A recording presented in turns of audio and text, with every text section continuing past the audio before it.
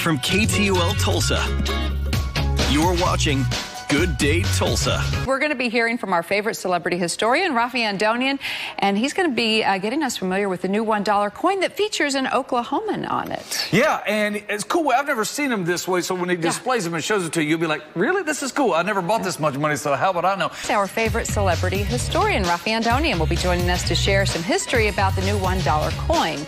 We'll be right back. Well, the U.S. Mint has released the 2023 $1 coin, and guess who's on it? Osage County native Maria Tallchief. Joining us here in the studio to share some knowledge, because he's got a ton of it oh, on Maria's our favorite celebrity historian, Raffi Andonian. Good to see you again, Raffi. It's always a good time when you grace us with your presence. And today, I thought this was a great, I mean, because it's so local to us. Yeah. It is, and it's not only local, but what's interesting is that it has an international impact, right? right. And there's a national treasure because Maria, Maria Tallchief puts American ballet on the world map. Okay, now she was an Osage native, and her sister, and there were several. They, call, I think they were called the Five, Five moons. moons. Okay, so tell us a little bit about Maria's upbringing and how she kind of got into this. Yeah, so Maria, what happened with Maria is that she, when she grew up, she grew up actually in a very well-off family. She said that she felt like her father owned the town because this was in the era just after the oil boom ah, that the ah, Osage okay. had.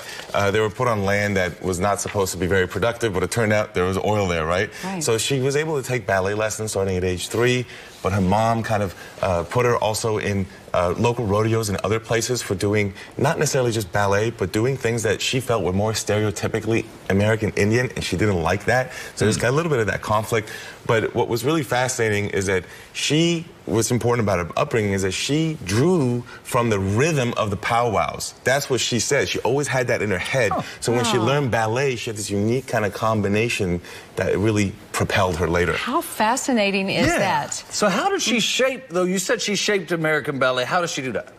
So many ways. So think about it this way. American ballet, this is in the 1940s, 50s, 60s. It's not really on the map. Okay. It's not really influential in the world. Well, when she shows up, a few things happen. One, she produces, or she's the lead ballerina. It's called the prima ballerina and in New York City okay. for the Nutcracker which was at mm. the time kind of obscure. Today, of course, a right. regular every single right. year. Everybody has seen it. And so, that's yeah. because of Maria Tallchief, for example, wow. because she made it huge. So we're still in that legacy, right?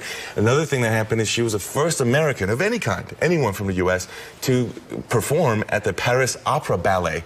And when the Europeans came, they were interested to see the daughter of an Indian chief in their perspective. Right. But she then blew them away much beyond that with her athleticism and her artistry, and that really put put her on the map, and American ballet started to follow as a result of that. Fabulous. And the Five Moons, all of them are from here in Oklahoma. One of them is her si right, sister, her of sister, course. Marjorie. So it's so huge with her at the lead. And if you look on the coin, now watch how this money out. comes out. We yeah. don't always get to see money like this. Yeah. This is straight from the U.S. Mint because these coins just came out. They cool. just came out last week.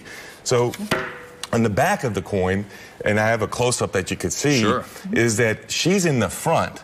Now she's in the front, but behind her are four other ballerinas, and that represents the five moons, right? Because right. there's five of them, one plus okay. four. But also, the reason they have the ballerinas behind her is to help her kind of help show the legacy she left for ballerinas after her. So there's oh, symbolism wow. there. The one dollar coin. Beautiful. Now you can get these from the U.S. Mint right now. Yeah, Absolutely. you can buy a twenty-five dollar roll for how much? 35. 35. Yeah, they charge you more. It won't be for the mint to make a little profit. And you can use it as money. Yeah, the, the government's involved. But you lose you know, right away. go. Every well, time the government's involved, mm -hmm. you mm-hmm. going to take it in the pocket. That's right. Mm -hmm. Well, you always have the most fascinating information for us, and I, brought, we are always just blown away by the mm -hmm. information you bring us. So if you'd like to find out more about Maria Tallchief or anything going on with Raffi Andonian, you can check him out, Celebrity Historian.